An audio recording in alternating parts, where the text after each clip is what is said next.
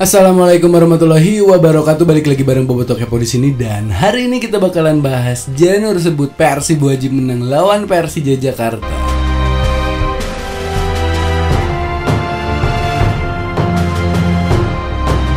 Persib Bandung baru saja mengalami hasil mengecewakan kala menjemu Persela Lamongan pada laga pekan ke-14 Gojek Traveloka Liga 1 di Stadion Gelora Bandung Lautan Api Gede Bagi Bandung Rabu 12 Juli 2017 malam. Dalam laga tersebut Persib ditahan imbang Persela Lamongan 1-1. Tim Maung Bandung unggul terlebih dahulu melalui sepakan kaki kanan Sohe Matsunaga pada menit ke-34 sebelum akhirnya Samsul Arif bisa menyamakan kedudukan melalui tendangan penalti pada menit ke-81.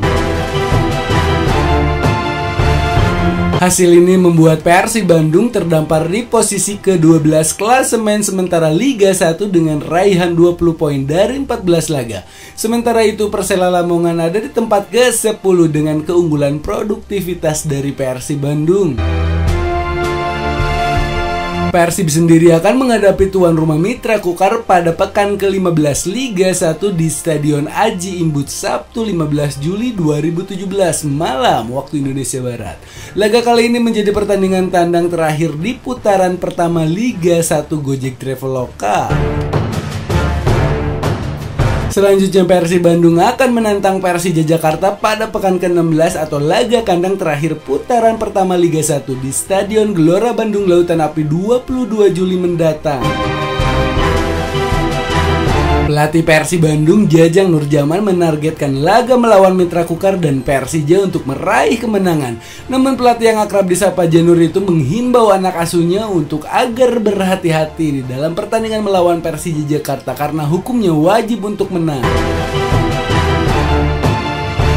kita akan memaksimalkan untuk dapat poin laga kandang nanti lawan Persija Jakarta penting buat Persib untuk menang dan memperbaiki peringkat sekaligus kita harus berada di jalur kemenangan atau jalur juara ungkap Janur kepada awak media.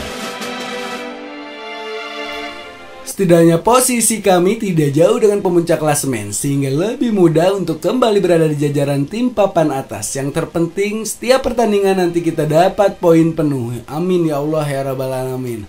Nah itu dia Bobotoh berita tentang Janur sebut wajib menang melawan Persija Jakarta Dan buat kalian semua bisa isi kolom komentar di bawah ini Dan jangan lupa untuk like, share, dan subscribe channel Bobotoh Kepo agar mendapatkan notifikasi berita-berita terkini tentang Persib Bandung dan saya Boboto Kepo harus undur pamit dari hadapan kalian semua. Assalamualaikum warahmatullahi wabarakatuh. Bravo Persib Bandung, Persib juara.